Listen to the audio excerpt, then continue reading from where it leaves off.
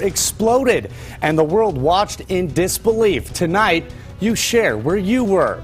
Also, Hoop hooped in a Texas school gym. Yeah, it's a real story, and you are flooding us with comments on our social media network. Sun City by day, the city of lights by night. But have you noticed how those overpass arches downtown really aren't putting on a show anymore? Well, new tonight, they're back on. We'll take a look at the story that you're talking about as well.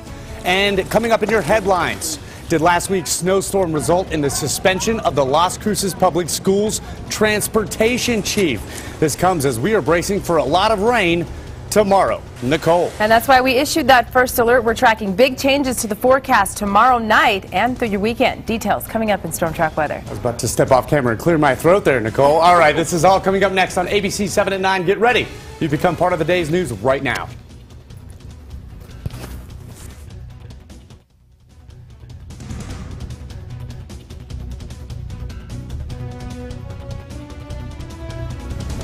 Hello, everybody. This is ABC 7 at 9. Thanks so much for joining us here. I'm Bob Harp. I think I got the frog out of my throat. Nichole, well, a lot of social media buzz tonight. Nichole, you always help us put it together. I couldn't come up with an awesome name today, so I'm just going to say the wonderful social media expert. Nichole, how you doing? Uh, I think I like Goddess better, but you that like will goddess? do today. Okay, yes. well, got to change it up, you know. Uh, yes, I know you do. And you become a part of the show. The reaction to the day's news is the story. Join the ABC7 social media network right now, and that's how you do it, right there. All right. Thanks so much, Nichole. And of course, the weather. It is a big story tonight, Nichole, just like you.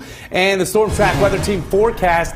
Uh, we had another gorgeous day in the borderland today. T-shirt weather and shorts, right? But that's what folks back east are dealing with quite a different story. Now, everybody's talking about what the folks back east are doing, and that was Las Cruces video uh, from last week when the snow hit. Then it was warm again. Now we're talking about rain. Nichole, we are all over the place weather-wise. That is why you have that first alert in effect tonight. So what is going on? Well, this afternoon it was beautiful, Bob. Temperatures in the 70s, as you mentioned. People could have walked around in shorts today. Temperatures were above normal, but we are tracking big changes to your forecast tomorrow. First, let's talk about what's taking place on our clouds and radar picture here. As you can see, we do have clouds moving in from the west, but we'll start to see those changes tomorrow. As far as any alerts, alerts are, that are in place, we have a winter storm watch in effect for the Sacramento Mountains, and that's what we're dealing with as of now. But notice our temperatures nice and comfortable out there. 63 just outside of the studio, 58 Canutillo. High today 73, so we were pretty much in the 70s throughout the afternoon today. But here's what we're talking about. The reason we issued that first alert. Thursday night, rain chances will begin. We'll see steady rainfall Thursday through Saturday, and we'll also see periods of heavy rainfall through the weekend. So we'll talk about those details, take a look at the latest future track computer model, talk about just how much rain we could possibly see tomorrow night through the weekend. That's all coming up. Give us a break, Nichole. I know you control the weather, right? Give me a break. I know you are busy. Hey, we'll get to you in just a second, uh, Nichole, for all the social media buzz. But first, let's go and get to the stories that you need to know before joining the discussions underway right now. New at 9, the Las Cruces Public Schools confirming that Larry Altamirano has been placed on administrative leave with pay. Now, LCPS not telling us why the transportation chief was placed on leave, only that it's a personnel matter. Now, Altamirano, Morano, excuse me, has worked with the district for 35 years.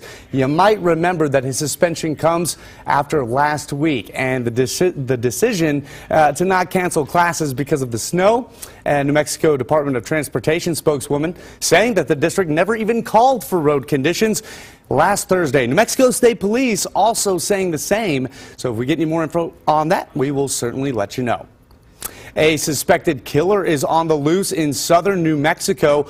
Already, a 36-year-old Stephen Morales is said to be armed and dangerous, and he has not been caught yet. He allegedly killed a 22-year-old man in Silver City two weeks ago.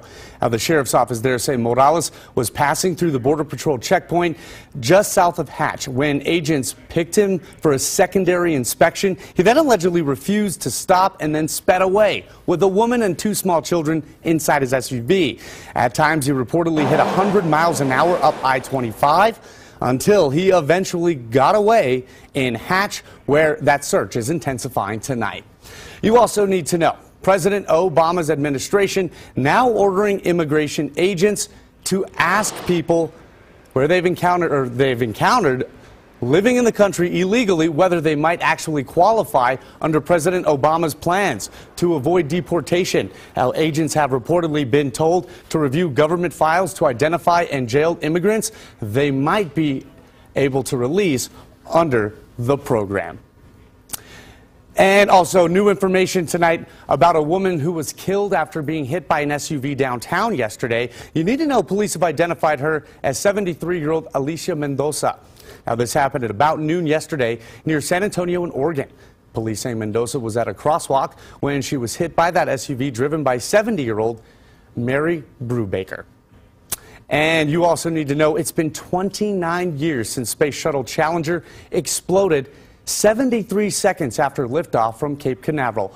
All seven crew members, including schoolteacher Christa McAuliffe, were killed. Now, I asked you today to share where you were when that happened. Angelica writing us tonight saying, sixth grade in the library at Robert E. Lee. I will never forget. Susie comments, I was in my desk at work at Texas Instruments in McKinney, Texas. I was stunned and started scrambling to try to find a radio and something to receive news updates. And Tia commenting tonight, I was at home in El Paso, Texas with my nine month old son. Sad day. I most remember the school teacher that was part of the team we will never forget them. And we have much more comments right now on our Facebook page. More than 100 of you shared your story. I have to say, I was in second grade over at Fannin Elementary in Northeast El Paso, and we were watching it live on television. I'll never forget that as well. Well, there is a picture blowing up social media tonight showing a child who swallowed a SpongeBob pin. A doctor in Saudi Arabia is saying that he was shocked to find this on the x-ray. He said SpongeBob was looking at him right in the face with a big smile. Take a closer look on the CU on the CW page on Facebook. We have the full story and that incredible picture posted so you can take a closer look. Well, snowfall totals breaking records in some places. This time lapse video showing it piling up. Thousands of homes tonight, though, still without power in New England. The airports, though, looking better tonight, not yet at 100%. 600 flights were canceled today compared to 8,000 yesterday and the day before. All flights in and out of El Paso seem to be on time. Before you fly out, get all the information you need at KVIA Com. And Nichole, ABC 7 at 9 is the only newscast in the borderland where folks at home can actually see themselves and see what they say all about the day's news. And you can you can connect with ABC 7's newsroom and join a discussion on KVIA.com's Facebook page, news news updates on Twitter at ABC7 Breaking. Then see you on the CW by sharing your comments and photos on Facebook, Twitter, and Instagram. Let's get right to tonight's social media buzz. Yeah, let's do that. All right, Nichole, this one has people talking. The city of El Paso uh, getting a makeover, as we know, just about every corner of town is seeing this, from northeast to west to downtown. Now, from the sculptures over at the I-10 and Airway overpass to these downtown, you might have noticed that the new multicolored lights the ones that popped up three months ago. For a while, they were flashing colors and dancing, if you will, uh, entertaining folks who drove by. But for the most part, we haven't seen any of those LED light shows lately. They're now shining brightly with just one color. So ABC 7's Darren Hunt takes a closer look. You'll see it only on 7.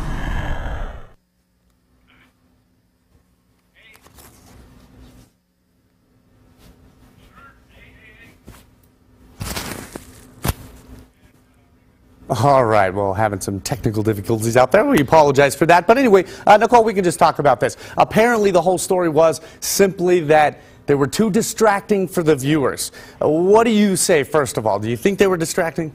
They didn't distract me. I mean, I think they became such a huge part of that area. It's going to be kind so. of weird to not see them there. That's just my opinion, though. But hold on, I have some news for you. New at 9 tonight, just a little while ago. We believe it might be because of Darren's story, but we noticed that the lights are flashing again. We tried to get a, a, an angle of them from the TxDOT traffic cameras. We really couldn't see them there. And even from our mountain cam, they're too far away. But trust me, if you drive by there tonight, you will see, uh, because the ones you see there, the bottom of your screen, Oh, you changing. can kind of see them changing. Yeah. Yes. But here is the update. We noticed that they actually weren't flashing red, green, or yellow. And that was kind of the confusion. Folks were uh, a little worried that folks might slam on their brakes or, I don't know, go faster if they see a green light. I don't know. But we do have some comments uh, happening right now because the discussion is very hot on our Facebook page tonight. Let's go and get to some of the comments. This one is from Nessa. How stupid do you have to be to get distracted by the lights? Okay, that's Nessa saying that, not me, Nichole. And I think we have another one from Alvaro who says, as soon as El Paso starts looking good, people find something to screw it up. Yeah, so hey, what do you say about this? Let us know. This one uh, was an, uh, an anonymous one, if you will. Take them all down unless you want to be in a crash. So, again, a divisive story. That's what people are talking about tonight in our social media network. Also, your forecast. We have that first alert in place. Hello, Nichole. Fill us in on the latest. Oh boy, get your umbrellas ready, get your jackets ready, hold on to your hats. Bob, we've got a lot going on here. We'll take a look at, look at the latest models, talk about how much rain, just how strong the winds are expected to pick up, and temperatures are also dropping. So we've got a lot going on here, Bob. And Nichole, it is all about you tonight, my friend. I don't know, folks, if you know, there are some boy. pictures circulating of you, girl. Oh, tonight on social media. I think I'm scared. Ah, you might want to be just kidding. All right, people asking all kinds of questions because of it. We'll show these scandalous pictures. They're not scandalous. I'm kidding. I'm kidding. We'll talk about that. I'm putting you on blast in a minute. Also, I'm still dealing with what happened with you last night, Nichole. Take a look. oh, gosh. Oh, surprising you, teasing you. Having some audio problems tonight. Hey, but you know, it happens. That's live television. I hope to show you what's going on there. But if you missed it, Nichole pretty much put me in my place last night. I tried to school her on I hip hop. did. I helped you out a little bit. We're a team here. We are. Thank you, Nichole. hey, also tonight, another hot story people are talking about. Uh, this one, it has people saying, like Claudia, for example, simply, ah. Julie, though, saying no wonder they haven't been seen. And another one from Lavina. So, am I the only pervert here thinking they look dirty? Oh, what is it? What is it? We'll take a look. Stay with us, folks. We'll be right back.